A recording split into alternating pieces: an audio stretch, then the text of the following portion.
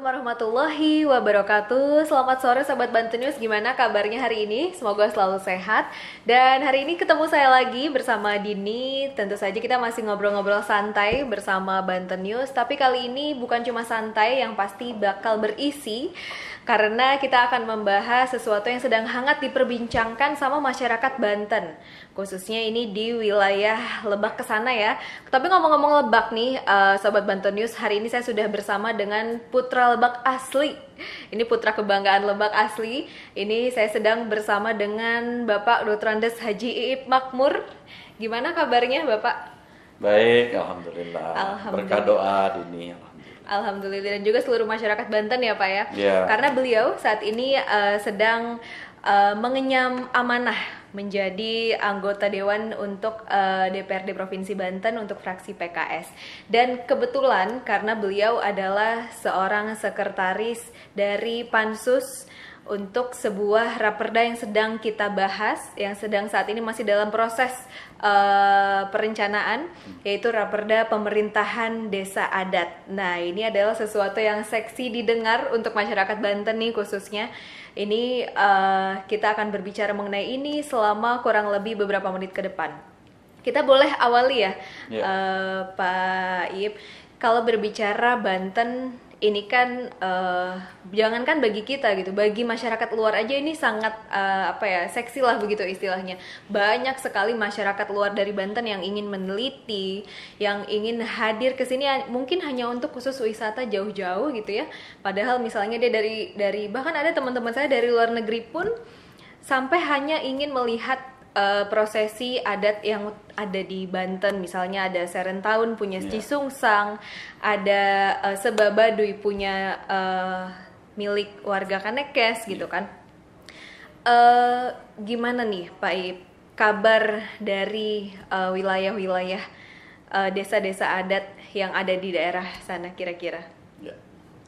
baik terima kasih Mbak Dini uh, selamat sore terkait dengan uh, khazanah ya uh, budaya yang ada di provinsi Banten khususnya di Kabupaten Lebak ini beragam. Uh, tadi yang sudah disebutkan ada budaya Baduy dengan sebab Badunya ke kabupaten dan provinsi. Kemudian ada juga budaya Serentaun yang dilakukan di Kasepuhan Cisungsang, Kasepuhan Cipta Gelar, Kasepuhan Cicarucum, dan kesepuhan-kesepuhan lain seperti halnya Kesepuhan Citore, Kesepuhan Guradog. Ini hidup yang hidup uh, budaya yang hidup di uh, Kabupaten Lebak, khususnya Lebak Selatan ya. Khususnya Lebak Selatan, maka uh, ada perkumpulannya yang disebut dengan Sabaki, yaitu Persatuan Masyarakat Adat Banten Kidul hmm Nah, Banten Kidul ini salah satunya hidup di uh, Kecamatan Cibeber, Kabupaten Lebak dan Kecamatan Cibeber ini kecamatan paling ujung di Provinsi Banten yang uh, berbatasan dengan Provinsi Jawa Barat, yaitu Kabupaten Sukabumi. Mm-hmm. Mm-hmm. Oke, okay. uh, eh, begitu luas. Ini kan kita kita yang kita ketahui saja, yang sudah yang sudah diketahui masyarakat umum tuh ada uh, Guradok, yeah. kemudian Desa Cisungsang, yang hmm. sangat terkenal dengan uh, tahunnya. Ya. Kemudian ada Ciherang. Ciherang. Ciherang. Ya. Ada Citorek juga ada Citorek, yang kayak betul. akan tambang emasnya. Ya, Kemudian ada Cicarucuk. Ya. Nah, yang akan kita kira-kira uh, pemerintah akan olah yang akan dibuat untuk mereka uh, saudara-saudara kita yang berada di daerah adat ini apa sih yang mendorong akhirnya kita naikkan ini sebagai uh, raperda? Ya, sebetulnya uh, Lebak dalam hal ini pemerintah Kabupaten Lebak sudah punya perda tentang perlindungan dan pemberdayaan masyarakat adat. Hmm. Artinya bagaimana mereka dilindungi, mereka diberdayakan dengan tetap melestarikan budaya-budaya yang ada di Kabupaten Lebak. Hmm. Khususnya tadi uh, Kesatuan Banten Adat uh, Banten Kidul ya. Hmm. Kesatuan Adat Banten Kidul ini dipelihara dan sudah diperdakan di Kabupaten Lebak. Nah, saat ini uh, yang uh, masuk ke provinsi sesungguhnya bukan dari sisi pemberdayaannya, bukan juga dari sisi uh, pelestarian budayanya, akan tetapi ada desakan, ada permohonan dari uh, desa yang masuk ke pemerintah Provinsi Banten yaitu untuk uh, segera diterbitkan perda mengenai desa adat. Hmm. Walaupun penetapan desa adatnya itu bukan kewenangan pihak Provinsi Banten, akan tetapi uh, penetapan uh, desa adatnya adalah akan diatur oleh pemerintah kabupaten kota. Kalau berbicara Lebak nanti yang akan menetapkan apakah itu masuk desa adat atau tidak adalah pemerintah kabupaten Lebak. Ya, hmm. tentunya uh, yang jadi dasarnya pemerintah kabupaten kota belum bisa menetapkan menjadi desa adat apabila belum ada perda uh, provinsinya. Begitu Mbak Dini baik ini adalah sebuah dorongan ya dorongan. Raperda yang sedang kita buat ini untuk mendorong masing-masing pemerintah kabupaten dan kota yeah. untuk menetapkan peraturannya sendiri terhadap desa-desa adat yang berada di letak geografisnya. Betul. Nah kalau begitu uh, saya dengarkan ini masih dalam proses uh, pengolahan ya betul. uh, Pak kira-kira uh, bakal dibawa ke mana nih arahnya gitu? Apa yang kita ketahui bersama kan uh, desa adat mereka kan punya punya apa ya punya kebiasaan adat sendiri, tradisi adat sendiri, punya kekayaan alam sendiri, punya hukum adat sendiri iya, bahkan. Betul. Gitu. Kira-kira uh, bahkan sampai jatuhnya ke uh, kepala kepala ini ya, kepala desa atau iya. kepala adat. Nah, iya. ini uh, boleh dikasih gambaran secara implikatif nggak nih Pak? Kira-kira bakal apa nih? Apakah nanti ketua adatnya akan kita sebut dengan sebutan lain atau gimana? Secara ya. awam nih. Baik, uh, sebetulnya pertama kita uh, bicara dari kronologis ya, hmm. uh, bahwa tadi sudah saya singgung di awal bahwa ada pengajuan uh, pada saat Seba Baduy di Provinsi Banten, di mana Kesatuan Adat Baduy menginginkan agar desanya ditetapkan sebagai desa adat. Kemudian yang disebut tadi Desa Kanekes. Kemudian juga ada surat uh, dari Desa Guradog ingin adanya penetapan uh, desa adat. Namun kembali bahwa penetapan desa adat itu adalah kewenangan pihak kabupaten kota dalam hal ini Kabupaten Lebak ya. Selanjutnya uh, perda yang kita bahas yang akan kita bahas di Provinsi Banten ini tidak pada spesifikasi mengenai tadi tatanannya, hmm. tidak berbicara uh, apa uh, tradisinya, adatnya, hmm. tidak. Uh, Perda ini hanya mengatur tentang pengisian masa jabat uh, pengisian uh, jabatan kepala desa adat, kemudian masa jabatan kepala adat, kepala desa adat mohon maaf kemudian yang ketiga mengenai kelembagaan desa adat itu sendiri hmm. ya jadi tidak spesifik kita berbicara uh, bagaimana itu kesepuhan hmm. kemudian hmm. kewenangan kesepuhan dan lain-lain tidak tidak hmm. tidak berbicara tentang itu perdanya okay. hanya sesuai dengan amanah Undang-Undang Nomor 6 Tahun 2014 hmm. uh, tertera dalam pasal 109 bahwa Uh, pengisian jabatan kepala desa adat, kemudian masa jabatan uh, kepala desa adat ditetapkan melalui perda uh, provinsi. Hmm, baik. Nah, kemudian kalau berbicara teknis kelembagaannya, yeah. ini apa yang akan kira-kira di kebijakan yang akan dibuat, Pak? Sebetulnya kelembagaan desa adat itu tadi apa yang disampaikan Mbak Dini, artinya hmm. masyarakat adat itu sudah punya lembaga tersendiri. Hmm. Ini hanya sebagai payung hukum saja, hmm. sebagai payung hukum bagaimana hmm. lembaga adat ini betul-betul diakui oleh negara, ya, hmm. hmm, hmm. dan memang mereka bisa berperan sesuai dengan adatnya masing-masing. Uh, nah, adapun regulasi yang akan kita bahas di pansus nanti sekali lagi regulasinya hanya terga, uh, terbatas pada kewenangan provinsi. Nah, kewenangan provinsi ini tadi sudah saya sebutkan di awal. Nanti mengenai penetapannya, bagaimana cara musyawarah dan lain-lain, lebih detail akan diatur dalam perdanya kabupaten kota. Mm-hmm, gitu. Baik. Nah, ini kita baru membahas tentang latar belakangnya nih, yeah. Ya. uh, Pak Ip dan juga seluruh sobat Banten News. Kita masih akan membahas lebih dalam. Kita akan kupas tuntas apa ya sebenarnya ini raperda pemerintahan desa adat ini. Tapi setelah jeda yang satu ini tetap di ngobrol santai bareng Banten News.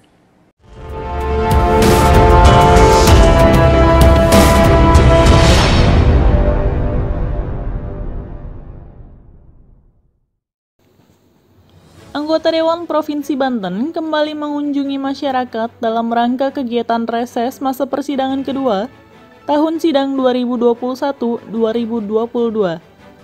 Iip Makmur, anggota Dewan Provinsi Banten dari fraksi Partai Keadilan Sejahtera, melakukan kegiatan reses di Kampung Cibeas, Desa Cidikit, Kecamatan Bayah, Kabupaten Lebak, pada hari Jumat 26 Februari 2021. Pada kesempatan itu, Iip Makmur menerima aspirasi dari masyarakat terkait peraturan daerah Kabupaten Lebak nomor 12 tahun 2005 tentang wajib belajar madrasah diniyah. Ahyaruna, salah seorang warga kampung Cibeas, berharap aspirasi dan harapannya bisa direalisasikan. Dipayung Siburi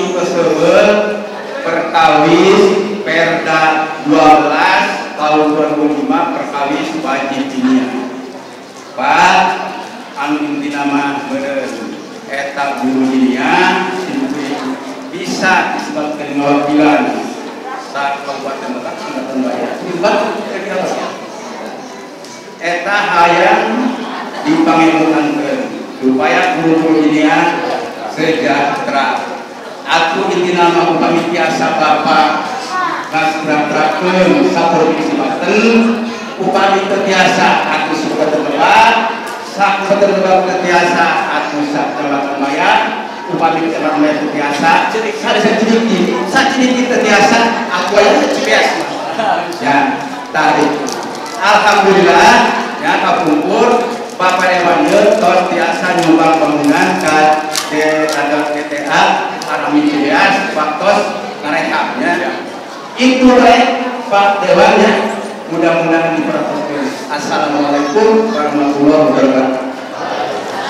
Terima kasih atas aspirasinya perwakilan ya perwakilan dari masyarakat Insya Allah bagian dari perjuangan kita yang akan kita sampaikan kepada dinas terkait. Dalam kesempatan ini, Iip Makmur menyampaikan terima kasih kepada warga yang sudah menyempatkan waktunya untuk hadir Iip Makmur dari Komisi 5 DPRD Provinsi Banten menyampaikan tentang poin-poin mengenai peraturan daerah yang akan dibahasnya pada bulan Maret tentang fasilitas pondok pesantren, pengelolaan zakat, dan pemberdayaan masyarakat desa.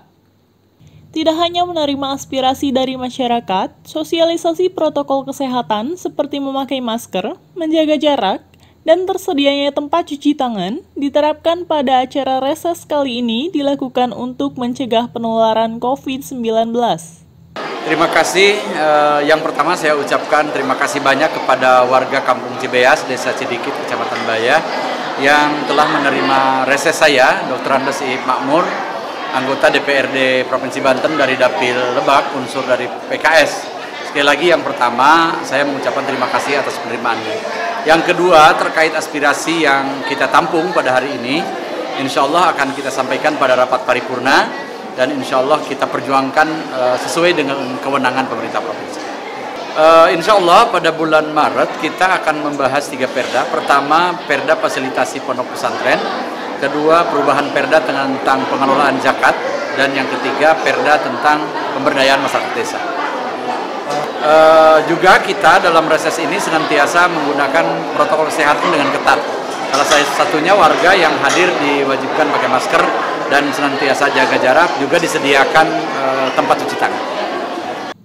Muhtar, aparat desa Cidikit yang mewakili kepala desa Cidikit mengungkapkan pihaknya sangat berterima kasih kepada anggota DPRD Provinsi Banten yang sudah hadir di desanya dan berharap kedatangannya membawa berkah lalu menjadi hal yang positif. Alhamdulillah kami sudah mendapatkan ya sambutan baik apa gitu tanggapan baik dari pihak dewan ya yang sudah datang ke sini. Dan mungkin di sini banyak aspirasi dari masyarakat gitu ya yang mungkin diajukan ke dewan.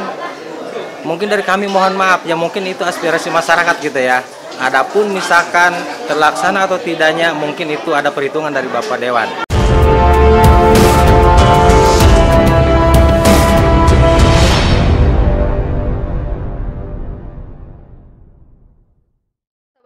Balik lagi masih di podcast Wakil Rakyat kali ini bersama Wakil Rakyat Putra Lebak ya. Lagi-lagi saya kenalkan ini bersama dengan Bapak Dr. Andes Haji Iip Makmur. Mungkin di sana yang nonton sahabat Bantul sudah banyak yang kenal karena sosoknya lumayan famous ya di kalangan masyarakat Lebak ya pasti. Nah, Uh, kalau tadi ini Sobat Bantu News dan juga Pak Iip kita sudah membahas alasan-alasan yang melatar belakangi akhirnya pemerintah Provinsi Banten mulai uh, membuat raperda untuk pemerintah desa adat ini.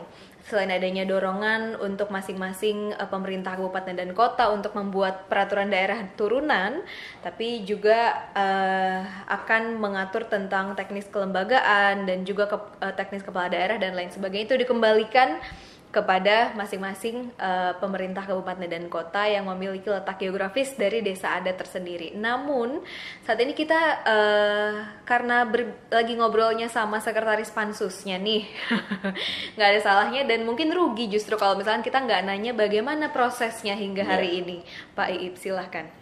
Baik. Uh pada saat ini kita sudah terbentuk pansus melalui paripurna DPRD hmm. Provinsi Banten dan saya diamanahi selaku sekretaris pansus uh, raperda tentang pemerintahan desa adat.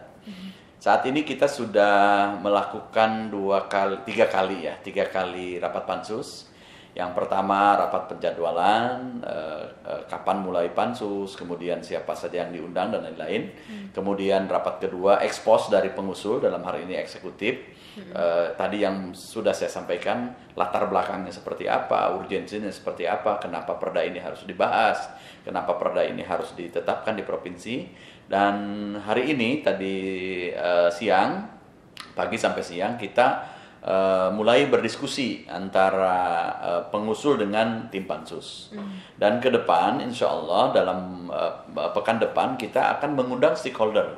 Dalam hal ini kita ingin mendengarkan masukan-masukan dari uh, masyarakat adatnya itu sendiri, kemudian juga pemerintah yang ada di situ, ada kepala desanya kita undang, kemudian juga ada apa namanya organisasi-organisasi uh, adat ya uh, mungkin saja salah satunya saya sebutkan Sabakinya kita undang kemudian Aliansi Masyarakat Adat Nasional kita undang hmm. harapannya kita mendapatkan masukan yang komprehensif hmm. ya dari uh, perda ini karena ini adalah sejarah hmm. artinya jangan sampai kita melakukan sejarah yang kurang tepat gitu ya makanya insya Allah setelah itu juga kita akan melakukan uh, peninjauan lapangan hmm Artinya sesungguhnya seperti apa, Badu ini seperti apa. Mm-hmm. Kemudian eh, pemerintahan-pemerintahan tadi yang disebutkan Guradog atau Citorek. Mm-hmm. Nah, kita ingin melihat sesungguhnya kebutuhan mereka eh, secara real eh, di lapangan seperti apa. Mm-hmm. Nah, nanti pansus yang pada akhirnya dari masukan-masukan ini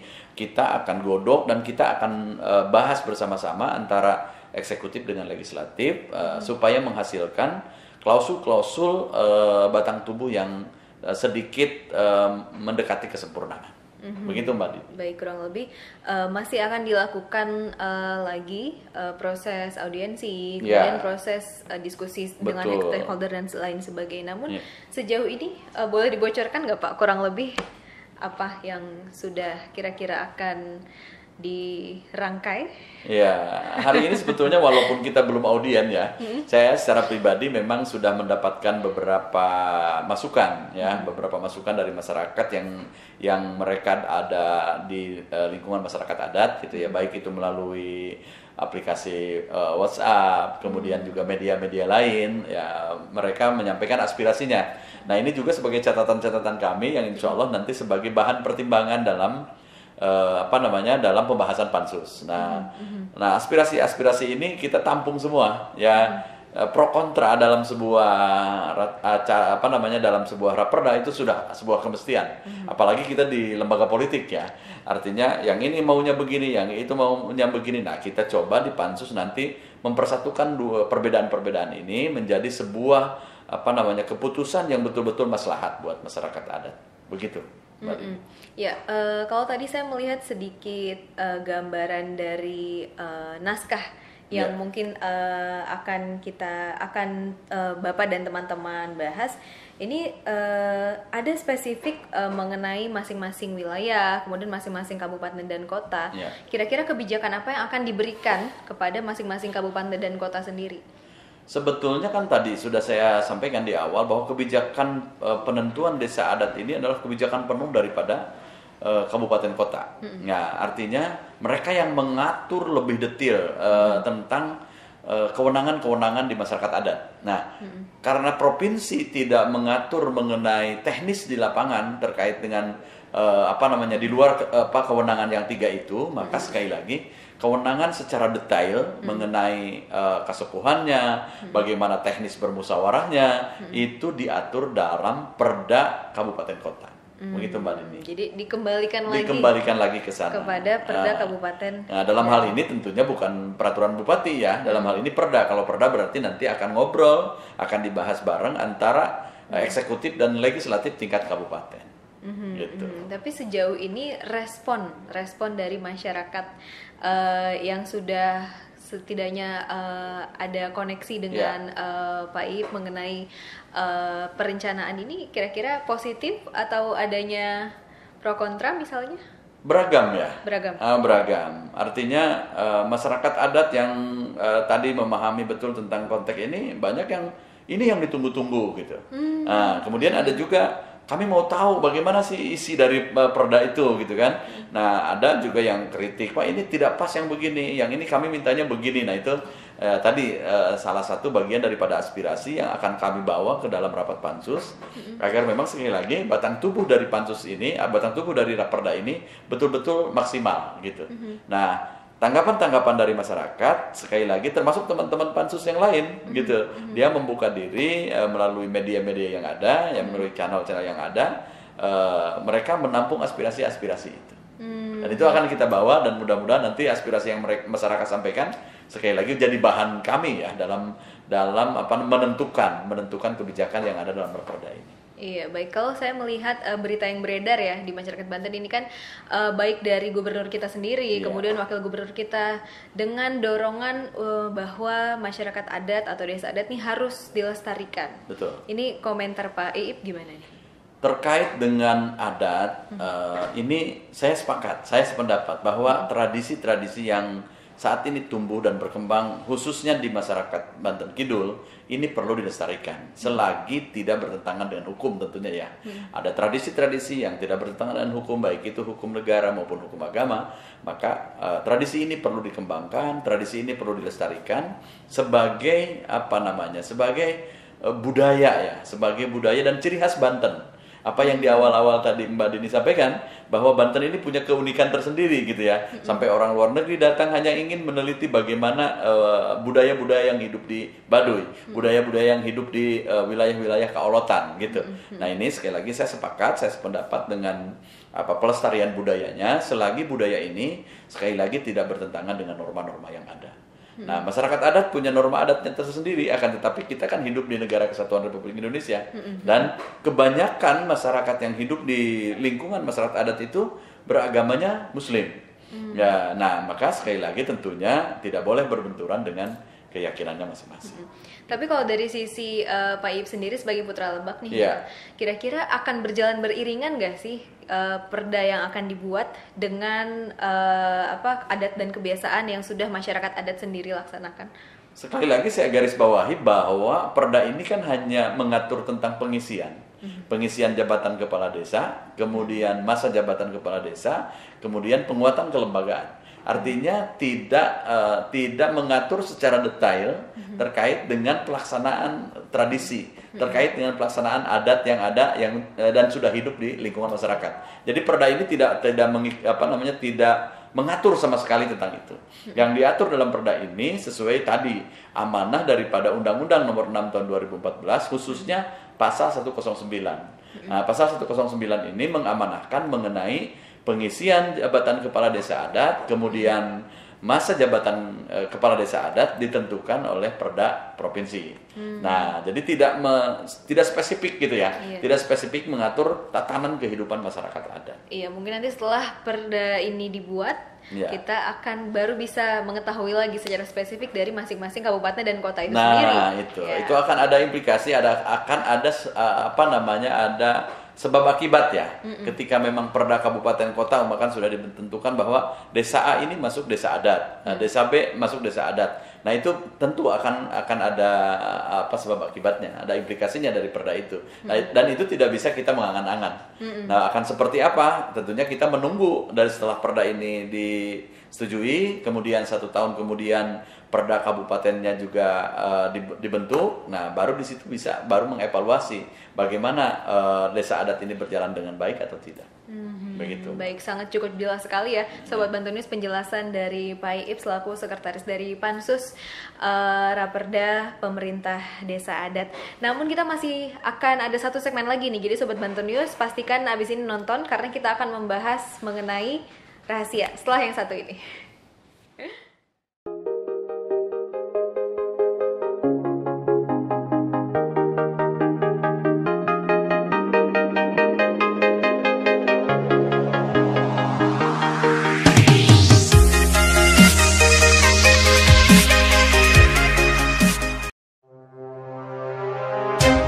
Anggota Dewan Provinsi Banten kembali mengunjungi masyarakat dalam rangka kegiatan reses masa persidangan ketiga tahun sidang 2020-2021.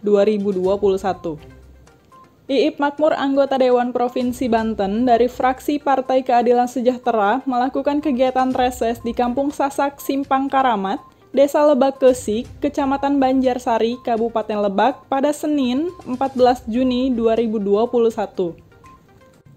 Turut hadir dalam acara reses kali ini tokoh masyarakat, mantan anggota DPRD Kabupaten Lebak, dan dihadiri juga oleh Ketua DPC Banjarsari Partai Keadilan Sejahtera.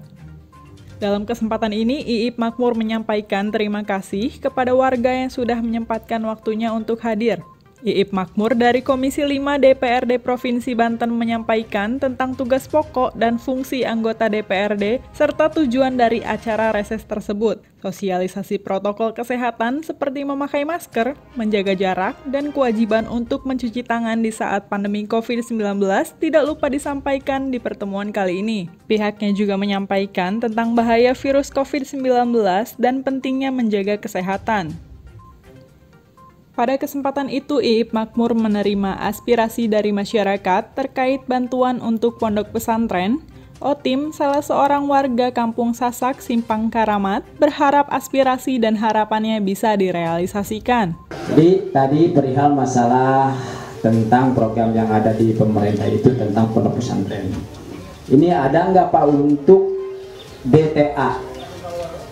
Tuh dikarenakan itu walaupun saya bukan kepala sekolah DTA-nya berhubungan ada CS di sini Pak Uci dengan saya sama mengajar di DTA dikarenakan ini tempatnya udah bokrok sepotong jadi sekarang udah tidak layak untuk dipakai.